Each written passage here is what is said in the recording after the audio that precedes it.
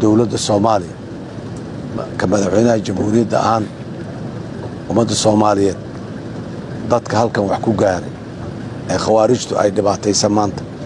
iyo kuwii shan sano ka hor ay dhibaataysay iyo kuwo kastoo ay khawaarijtu dhibaataysa carruurtooda dowladdu in ay waxbarasho frii a siiso ayaan caawa halkan ka cilaaminayaa wasiirka wasaaradda tacliinta. Waxaan farayaa in dhallinyaradaas ilmahaas agoontaas waxbarasho dowladdu ay u hesho free ah oo aan bisha aakhirkeeda aawi lacagtii tuwishinka aawi tobankii dollar aan lalahayn inay u hesho sida ugu dhaqsiya badan haddii alla yidhaahdo